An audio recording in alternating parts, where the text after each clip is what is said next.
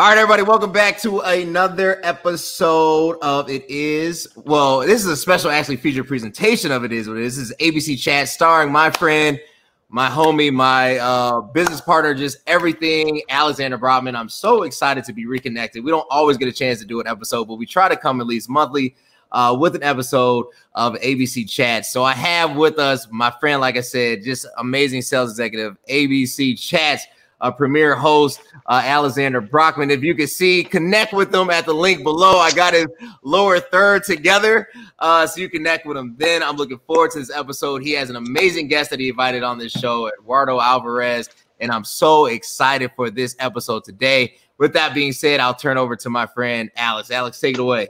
Hey, welcome back to the ABC Chats podcast, everybody. So this is a this is a fun show that uh, there's been a lot of people talking about and a lot of people that have been kind of reaching out to, to everybody, kind of asking some specific questions. And one of them was, can you guys talk about the difference between personal branding and corporate branding? And so Cody and I were chatting about this, and you remember, and I we were like, there's really only one person that we can bring on here to to talk about this, and that person, you know, luckily accepted our invitation. So that person is sitting in front of us. It's Eduardo Alvarez, and so um, after you know Eduardo's got a, a, rich history in this in this spectrum, and you know after completing his undergraduate education at New York's Fordham University, Eduardo started his career working for the government of Puerto Rico, leading uh, the office in Boston. And after one year of uh, working in the private sector, he was offered a position with the Bank of Boston as an international banker, working in the Americas, working in Africa, working in Europe. And then after about a decade in banking, took all of uh, those professional skills and strategic branding expertise into you know kind of the the, the design world. And, and eduardo specialized in helping financial institutions and uh, basically become more competitive in understanding the the mechanics and the mindset of, of, of branding all the things that we're going to be talking about now. But over the last five years Eduardo, after completing a, uh, a change leadership graduate program at Columbia University in New York, Eduardo is focused on uh, his energies on developing culture and executive coaching engagements in a variety of businesses and non-for-profit organizations. And so I don't know what else, what what other room there is to to go fill in there, Eduardo. But let everybody know, you know, you know, just any anything that I missed. Did I did I botch it? Did did we get it all right? How's that sound? Not not at all. Perhaps a little too much. but I mean, there's uh, but but I'm old, so I mean, I'm Midwest called Newground, and so there was uh, several different companies that that Newground uh, has has in its holding company, but we were all we were all part of either Newground or Adrenaline, and so that's where all of us had met. And I've worked with Eduardo countless times. We've gone to some of the uh, most rural portions of the Midwest together. And so bringing the, you know, bringing this and then bringing, you know, Eduardo, the New York, uh, the New York, you know, Eduardo Alvarez, it was, it was very entertaining to see people's reactions to, uh, just you know kind of the experience and the expertise and all these different things but uh, it was it was truly probably two of the best years of my life working with Cody and working with Eduardo and kind of learning from uh, these these just savvy professionals. And uh, you know, when Cody and I were talking about, okay, so how do you break down the difference between what what does it actually mean to have, you know, branding? What is that for that, Eduardo? When when somebody says that, when somebody says what is branding, what is uh, what does that mean? What's like the technical definition of branding? Are you able to share that with us? Uh, before I do, I'm going to turn the tables around and ask you a Ooh. question. Ooh. It's, uh, think a little bit the concept of brand and branding, and I'll explain that in a minute. Okay. When do you think it surfaced among humans? When do I think branding surfaced among humans? Man. Just quick. First century. First century. You were off by 2,800 years. Ah. Branding first surfaced with the Egyptians. Really? Basically, by marking cattle to make sure that your neighbor didn't steal your cows. Interesting. Branding goes all the way back. And the same way that they did it with cattle, then, you know, when you get to the this brand, and there's confusion about brand and branding. Uh, I, I'm going to give you, you know, it's a mind for about 25 years. And I am a believer in borrow, steal, and adapt Hmm. because, you know, there are, you know, no such things as completely new ideas. Right. And uh, but one of my favorite branding gurus is a guy in New York that worked uh, here for many years by the name of Allen Adamson, Hmm. and he distinguishes between brand and branding, uh, which I thought it was it was, it was it was very well done. Brand being a collection of associations that lives in your brain, and uh, you know, and they're there because of all the stimuli that you get from the outside world. If I say Coca Cola, something pops up. If I say Tylenol, something else pops up, or Apple, or United Way. So really, it's, it are those images of, you know, a product or a service or an organization for that matter. hmm hmm So that that is the brand, the concept of brand. Concept of branding is really about developing a process of creating what he calls signals. And it's those signals that trigger then, you know, that's uh, those associations that are in your brain. So there are two different things. One is brand as such as that stamp, if you will, and branding is what happens. Hmm. You know, be a logo, that could be corporate colors, that could be storytelling, that could be TV adverts, whatever it is. You know, those are the signals that trigger, you know, that concept of brand. Uh, but the most important thing is that together, you know, the ultimate reason or the ultimate goal for brand uh, is really to meet a critical need.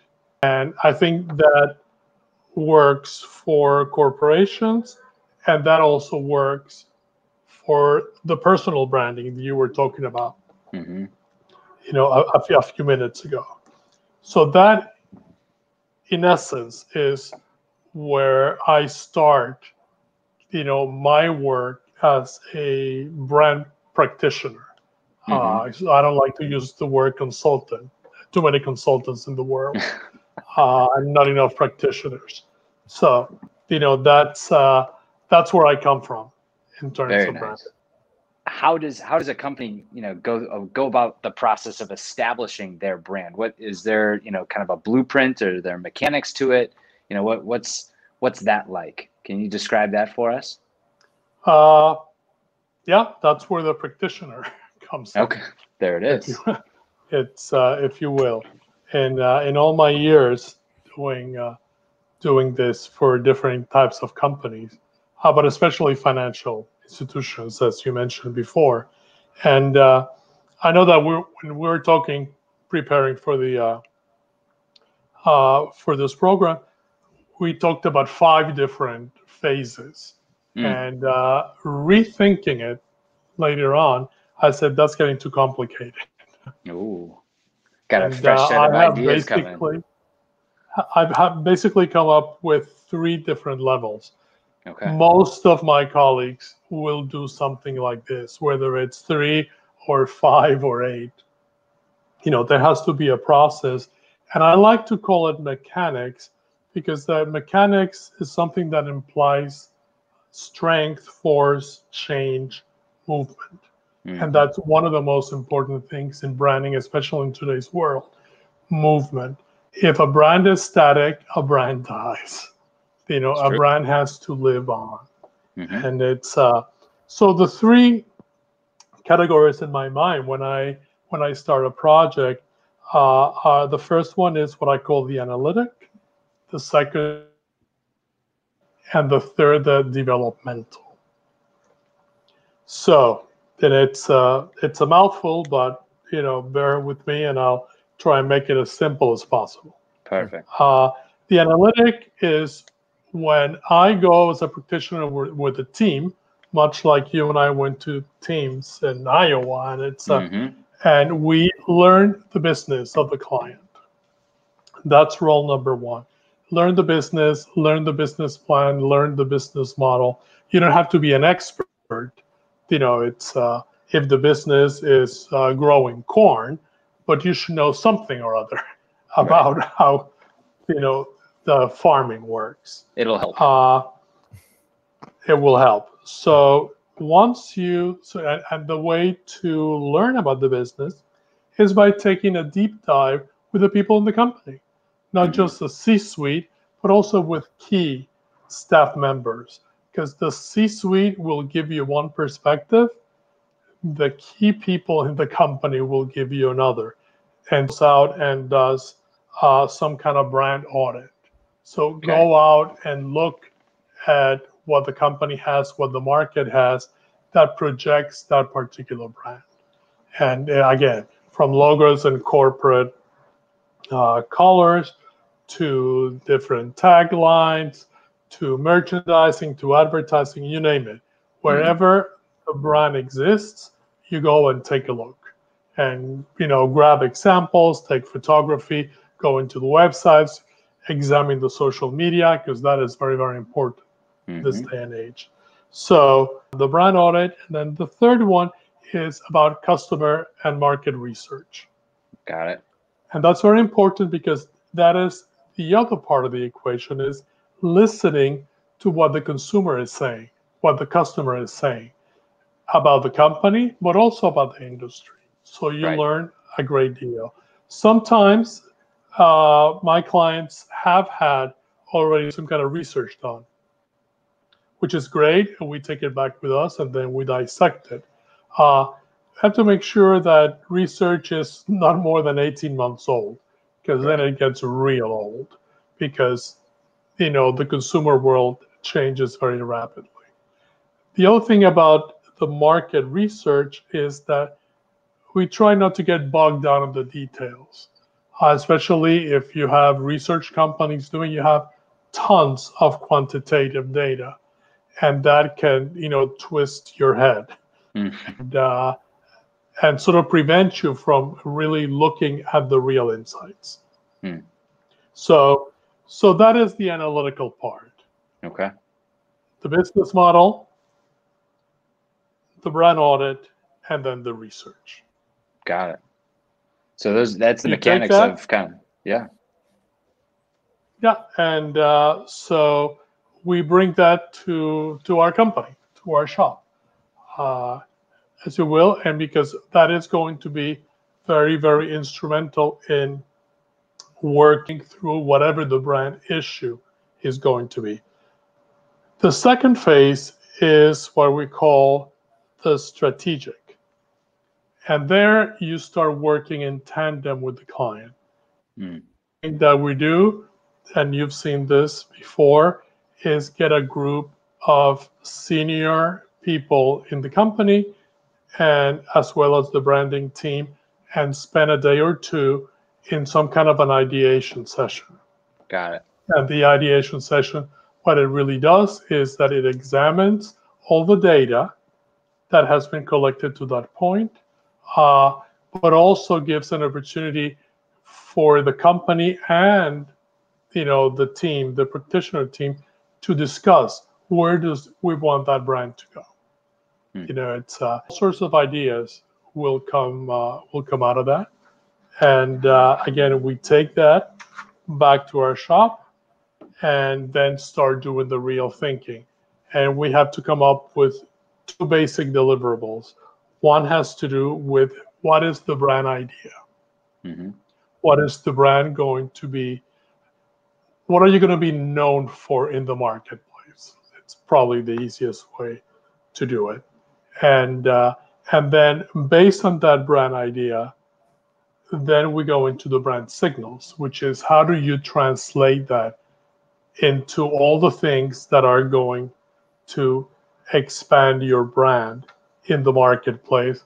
Like I mentioned before, everything from websites to social media to traditional media to brochures, to you know whatever it is that has Everything. your imprint in.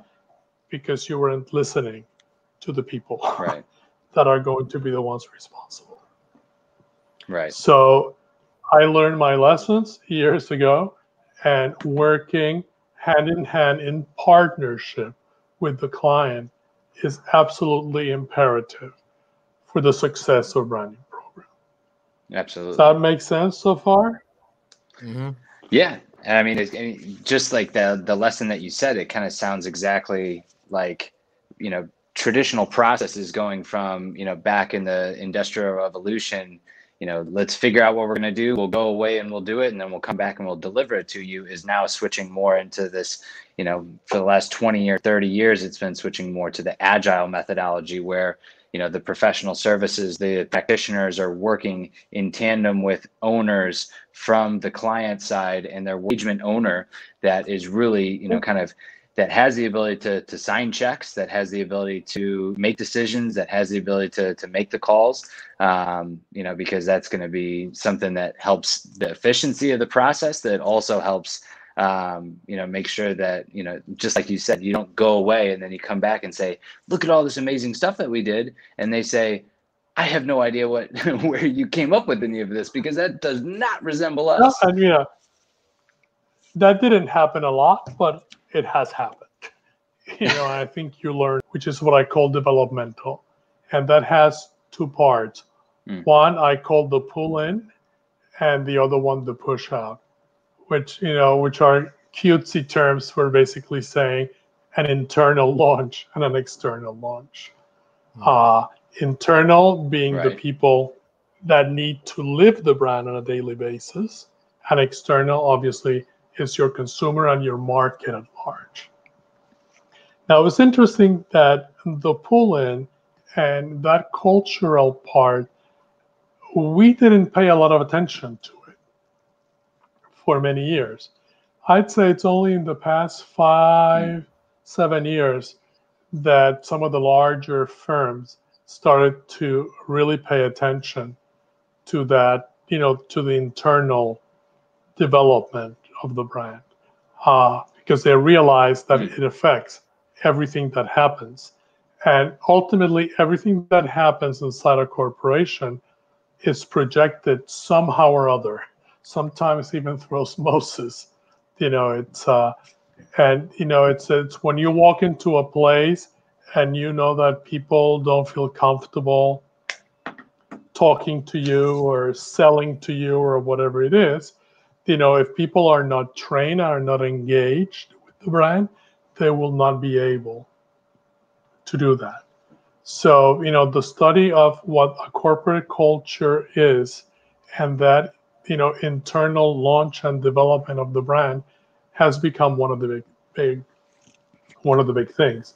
And that was one of the reasons actually I went back to graduate school and uh, and did some studies on, you know, organizational behavior uh, and and change management. Because at the end of the day, if you're going to keep a brand alive, you're going to have to change, as you know, as time goes by. So, you know, that is, you know, one of the one of the most important parts that we had missed in the past, but now I think a lot of people are taking very, very seriously. It's uh, how do you engage the staff? You know, it's uh, whether it's a corporate staff or you have, you know, plants or retail stores, whatever it is. Everybody should be, in many ways, singing from the same hymn book here, uh, and and that's what then creates that brand culture. And a lot of the work I have been doing the past few years deals more with that and the coaching of executives to make sure that all the pieces are pulled together in uh, in creating, you know, that internal uh, way of doing things. That makes sense. Eduardo, let me you. You mentioned um, keeping the brand alive by producing activity, right? That brands cannot stay static. If you're static, you will die. Change movement, right? when we look at uh, change movement, obviously, I think that 2020 has been one of the most externally um, uh, external producing factors that should initiate some type of change, right? From a global pandemic into the uncovering of transparency within social uh, activity or social justice. So, how uh, do brands? Well, I guess it's a two part question. The first part is: Have brands woken up? Have they awakened to the state that they have to respond to societal factors? And then the second part is: Has that awakening, if it has happened, has it been enough? And and we'll start with there. I wish I had a crystal ball. and uh, to answer that last part of the question, but uh, I think you know, it, in, in looking out in the marketplace and talking to people and going to webinars and all the things we have done sure. during the quarantine, I'm I'm seeing certain trends. One is that you know brands that take it seriously are looking at the short term and then they're looking at the long term. The long term and the you know and and obviously they come together. Mm. Uh, as you well said, I mean we are in a confluence of pandemic, recession, and the whole racial justice issue, which I think it has gone up to the level of the other two. So I mean, mm-hmm. we have to really, you know, contend with all three uh, at the same time. And so companies need to come up first and foremost with messaging that is authentic and mm. that is believable, you know, to put out there. Uh, and then follow that with actual, you know, acts, you know, just simple things. I had a problem with, and I had to consult an orthopedic surgeon a few years back, and I go for checkups and so on. Well, now every two months, I get a newsletter from that practice, and the newsletter addresses actual issues uh, of people in that, you know, in their area of expertise, particularly because people are spending gazillion hours in front of a screen, uh, right. you know, zooming left and right, you know, sitting instead of standing. They had never done that before. I actually read it when I get it. You know, I said, wow, you know, these guys are really thinking ahead of the game. Right. You know, it's uh, the way advertising has changed. You know, it's uh, it it's more you know, about what people need as opposed to what people want. Hmm. Because at the end of the day, the way that consumers react has changed right. dramatically. You know, it's uh, there was an article I don't know yesterday in the forget if the Times or the Washington Post that talked about uh, the business in this country of gentlemen's clothing Mm-hmm. It has been totally decimated because people don't need suits, don't need formal shirts. That's true. Need ties, don't need expensive shoes. I remember one time in my life when I was a banker, I had 10 suits, 50 red ties, you know, six pairs of shoes. And I don't need any of that mm-hmm. anymore. So, I mean, it, it's what some brand practitioners are calling that the go-to brands are the ones that are going to thrive in the future, the ones that offer things that you are going to need. Mm-hmm. You know, it's uh, for the moment we're in a crisis, so the wants are not so important. Hmm. Is that where you were going, Cody? With yeah, yeah, that, that makes sense. I, I guess the creating an authentic message mm. uh, and then actually having an implementation strategy that follows. Do you think um, corporations are forced to respond out of pressure instead of out of authenticity? Um, and if that is the case, um, what therefore or what is the solution? Should there just be a complete overhaul of the system? Uh, I mean, like, where do we start? So is it is it is it pressure to respond based off of societal external factors, or is it real authenticity? Well, hopefully, right. a lot of the brands are already authentic. Mm-hmm. You know, it's uh, it, but yeah, let's take for granted that you know X percent. Uh, well, I think that X percent is going to face some serious problems hmm. uh, in the future. You know, it's uh, because people see through. People, consumers see more than we give them credit for. Even brand practitioners like myself and my colleagues, they, they really can. You know, that's why they gravitate towards certain brands. That's why they gravitate towards Southwest Airlines. You know, it's uh, they trust Southwest to get me from point A to point B in the United States of America. I mean, that's very important. They trust uh, uh, Apple, of course. Mm-hmm. They may be, you know, scream and yell, you know, it's uh, because of the pricing, or you know, we have another iPhone, you know, you know, we're in the iPhone 27 and a half, and but at the end of the day, they do gravitate because they know that they're authentic and they have the consumer's best interest in mind. Uh, so I mean, those are they will those companies will have to probably, you know, twist their business models somehow uh, or somewhat, depending on how things move in terms of the pandemic, the economy, and some of the social issues. Uh, but you know, it's uh, people will see through. You know, hmm. if a company is not uh, is not authentic. Hmm. Yeah, I That's think that authenticity goes two ways. And Cody, you let me know if there's anything else that comes to mind. But like at the start of the pandemic, at the start of the pandemic, and, and there's two examples. One example, at the start of the pandemic, it looked like one agency basically did ads for quite literally every different company. And I posted about it on LinkedIn. It looked like every company had the same hey, we're all in these uncertain circumstances. Right. We're all in this together. We're here for you. Let you know, you know, just let us know. And it, it looked like every, and there were big names in there. There was, you know, all there was a ton of people in there. And then there's also, you know, kind of the the same thing that happened when, you know, sort of some of the Black Lives Movement stuff uh, started happening earlier this year.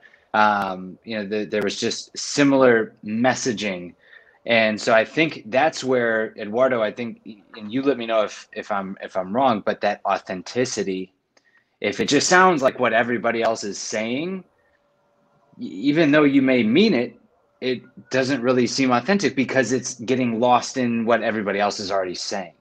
Is so you know, Cody, is there was was there anything else that like anything that, that Eduardo was saying that that jumped out at you? Yeah, I, I think it's um I, I do think there are similar patterns to how the message is being communicated. I also think that when you don't have a solution, you look for the uh, the answer that will create less havoc, right? So, and what I mean by that is like, well, because we do have uh, on an organizational level a lack of diversity, we have this, or we don't have this addressed we answer it by not making ourselves look terrible. So it's the lesser of the two options. Hmm. And I think that's where that that similarity comes in. That same monotone voice is almost like the same Allstate guy, you know, for every insurance company, right? right, right, right. And, I, and I think it's I think it's obviously it's, it's the safe way to go about it. Right. Uh, but it also shows inherent uh, distraction and weakness. Eduardo, we'll close with this. And last question: um, future future branding, huh. future branding. Is this the ultimate age of disruption? Are, are is there are you too big or or is it still you're too big to fail? Well, remember, you know, we we've been saying that everything is too big to fail for for decades, you know, in one way or another. You know, this is, I think, a a more important crisis than I have seen in my lifetime. Mm. You know, it's uh, and I have been in the working world for four decades. Mm. You know, I have been through recessions. I have been through 2008. Uh, you know, this is different and has a different feel because mm. it's not only economic, it's also health and it's also societal. And all have come together. Hmm. You know, it's uh, and I think that the companies that will succeed are the ones who can bring these together in a in a way that is authentic. And it, it will mean that you're going to have to start looking at different business models or different ways of approaching consumers. You know, and I'll leave you with something that that a friend of mine gave me the other day that I thought it was very, uh, very poignant. Uh, everybody knows, you know, the Ford Foundation. You know, one of the largest foundations. I think it's the second largest. They have like 13 billion in endowment and so on. And mm. uh, it's this day and age is uh, being led. The the top guy, the CEO, is an African American. Mm-hmm. So he looks at things a little bit differently. And one of the things that they have done over the past two months in response to the pandemic is instead of giving money away, you know, and taking it out of the earnings of, you know, the uh, the money they already have in the bank, they went out and for the first time, this is a social agency, by the way, this is a nonprofit. Mm-hmm. They raised one billion dollars in bonds. They issued a bond for $1 billion called a social bond to utilize that money to deal with COVID, Black Lives Matter, and the economic. That, I mean, that is that is twisting a mm-hmm. business model around. Absolutely. And it's I haven't been able to stop thinking about, you know, it's uh, I'm sure there was a lot of thinking and you know it's uh, brainstorming or whatever it was, but they're doing something completely different that has immediate effect on mm. what is happening today. Now uh, let's see whether our corporate friends we'll can match things like that. That's impressive. Awesome. Well, look, we appreciate it. Uh, this has been an amazing episode. Eduardo, where can they connect with you? What are you doing? What am I doing? Uh, doing uh, executive coaching and uh, and some uh, consulting, but uh, but mostly executive coaching, and especially around the areas of uh, corporate culture. You know, it's uh, working with a lot of C-suite type personalities, which is always interesting. And even more interesting is because of communications and uh, you know technology. I've had clients in Africa. I've had clients in Europe. I have a clients in South America, as well as here in New York, uh, which makes it uh, not only diverse but much more interesting and a rich mix of people, especially in the day and age that we're in. Right. And your travel expenses are way down. Right. way down. Hey, I, hey, I was gonna hey, right. Alex, where can they connect with you? What are you doing, man? Hey, you know that uh, pretty much the best place to find me is on LinkedIn. So it's uh, LinkedIn A Brockman or Alex Brockman at CSG um, that's pretty much where I spend the vast majority of my day is is connecting with people and, and engaging in conversations and building a network on link, on LinkedIn. Awesome, awesome. Look, connect with these amazing gentlemen. These my friend Alice. Connect with Eduardo. These guys are really subject matter professionals in their field. Hit them up on LinkedIn. That's the easiest way to connect with them. Thursday, have an amazing episode, really dealing with sports and their reaction to social justice surrounding the shooting of Jacob Blake. I have Terry Cummings coming on, ex uh, Milwaukee Bucks player. I have uh, waiting on Kendall Gill uh, to let me know yay or nay, but I'm just throwing them out there now. At Will Gill, he's a podcast hosted on Chicago Sports Next. Uh, just a few. I also have the chaplain or former chaplain for the Chicago Bulls. So I'm looking forward to it. It's going to be an amazing. Connect with my friends. Until next time, guys. Thanks. Thank you.